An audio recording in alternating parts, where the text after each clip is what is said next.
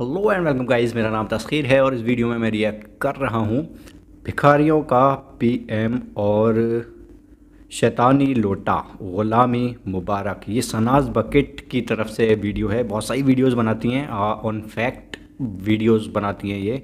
थोड़ा हल्का फुल्का रोस्ट भी करती थी आई थिंक लेकिन फैक्ट्स पर भी वीडियोस बनाती हैं जो आ, असल चीज़ें होती हैं उन पर वीडियोस बनाती हैं तो इनकी वीडियोस अच्छी होती हैं। तो इनकी वीडियोस देखने लायक होती हैं वैसे। चलिए इस वीडियो को भी देखते हैं कि क्या कहना चाह रहे हैं। ये नई जो गवर्नमेंट आई है पाकिस्तान में उसके ऊपर इनका क्या रिएक्शन है? So let's start it now हाँ भाई कैसे हो? भिखारी हो? आज वीडियो देख लो आके। मुझे लगता था रमज़ान आता है ना तो सबसे ज़्यादा बुरा इबलीस के साथ होता है क्योंकि ये शैतान कुत्ता कैद हो जाता है। लेकिन हाँ। क्योंकि वो बेगैरत हमें नज़र नहीं आता तो हम उसको तड़पता हुआ देख नहीं पाते। लेकिन अल्लाह ताला ने हमारी ये वाली हसरत भी रहने नहीं दी और हमें लियाकत की शक्ल में हमें दिखा दिया कि शैतान कैसे तड़पता होगा। नहीं ठीक है बेचारा हर्ट है। अपनी तरफ़ से इसने गेम खेली थी और फिर खुद ही अपनी गेम में सबसे पहले मारा गया। और फिर इस रमज़ान में ना उसको कोई रमज़ान ट्रांसमिशन मिली ना किसी ने इसको खरीदने की कोशिश की बल्कि हाँ, बेचारे को कोई मुफ़्त में भी नहीं ले रहा।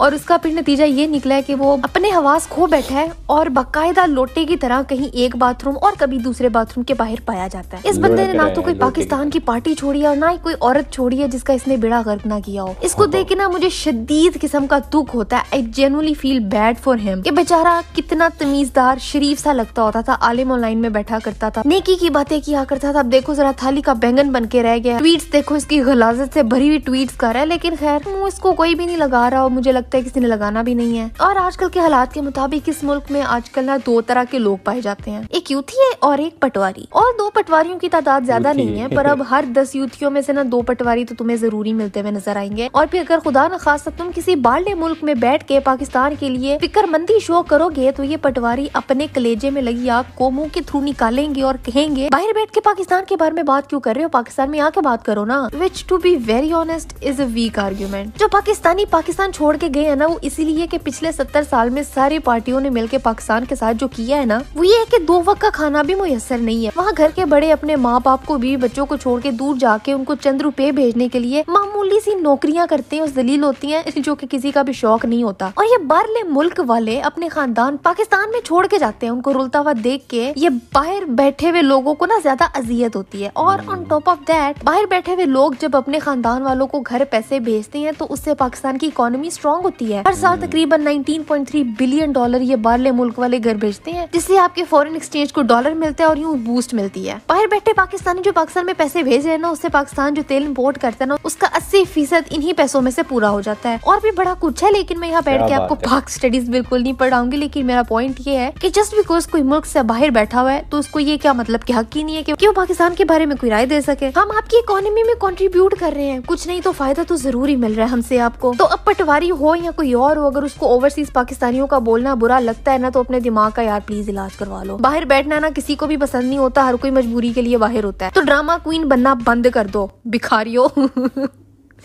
सॉरी हाँ पर ये है कि पूरे मुल्क के शहरों में वो आवाम जो अफ्तारी के बाद फैल के बैठ जाती है टेबल से रिमोट उठाने तक की भी हिम्मत नहीं लगाती वो आवाम अफ्तारी करके बाहर निकल के इकट्ठे होकर बता चुकी है कि हमें नूनियों की हुकूमत नहीं चाहिए। हमें वो पीएम नहीं चाहिए जो अपने लोगों को भिकारी बोले और फिर उनसे गुलामी करवाना चाहे। बंदा आवाम को यार मोटिवेट करता है कोई उम्मीद दिलाता है स्ट्रेटेजी बताता है। इन भाई साहब ने आने से पहले खुद को और आवाम को भिकारी बोल दिया। मतलब नियत ही जब आपकी भीख खाने की है तो फिर सर उठा के मुल्क को लीड करते हुए बाकी मुल्कों से बराबरी करने का तो सवाल ही पैदा नहीं होता। बस कशकोल लेके पीएम तो बन गया टूटी के मुँह वाला। जो भी किसे मिले की मुठ्ठी भर के उसने अपनी जेब में डालनी और बाकी शायद वो मुल्क पे भी लगा दे। हो सकता है मैं गलत हूँ। हो सकता है की जिद में आके इमरान खान से ज़्यादा अच्छी परफॉर्मेंस दे दे।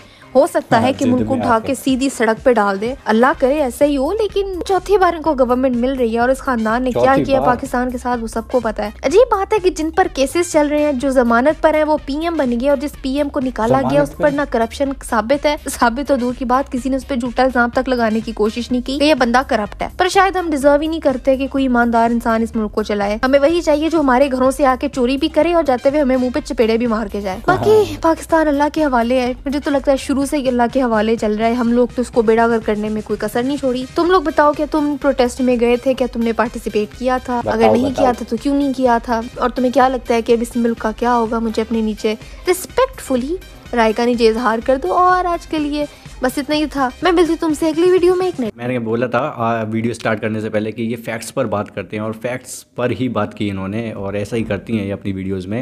आ, जो डिमांडिंग टॉपिक्स होते हैं जो सही या गलत के बीच का फ़र्क होता है जो जो जहाँ पर मेजोरिटी सही होती है वहाँ का साथ देते हुए वीडियोज़ हमेशा ये लाती हैं।